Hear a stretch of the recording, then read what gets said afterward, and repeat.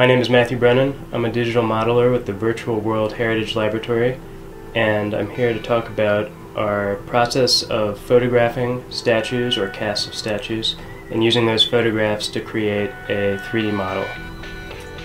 We start by taking 100 to 200 photographs all around the statue from every angle. We then load these photographs into a photogrammetry software that registers the photographs to each other and is able to reconstruct geometry representing the statue. We have found Autodesk's 123D Catch to be ideal for this. We call the result the state model.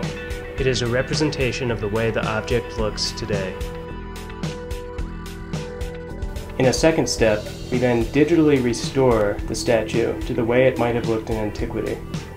We use Pixologic ZBrush to restore elements of the state model that might be missing or damaged. These could include fingers, noses, or arms. We also use ZBrush to restore missing or faded color. The result is a 3D digital model that can be used in various ways. For example, we are able to place it in a digital reconstruction of the space where the statue was originally displayed. Here we see the Amazon Sciarra displayed at the northern end of the Canopus at Hadrian's Villa. Finally, once the digital model has been restored, we can use a 3D printer to print out a small reproduction of it.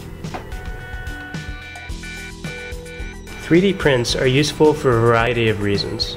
For example, they facilitate study of the arrangement of statues in their ancient context. Here we have an example 16 statues of Niobids from Hadrian's Villa.